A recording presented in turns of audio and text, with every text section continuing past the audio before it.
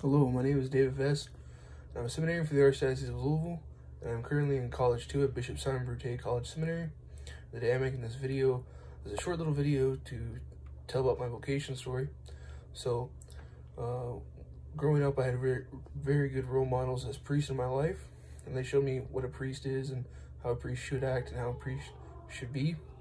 So that really helped in my discernment to uh, further uh, discern God's will in my life when I was in middle school and high school, I always had this resurging thought in my mind of, you know, God calling me to be a priest. So that's something I always took very serious to prayer.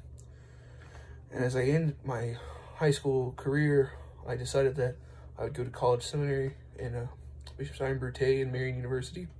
So I'm currently at here, discerning God's will in my life, uh, getting a major in Catholic studies and a minor in music, as the diocese would like me to do.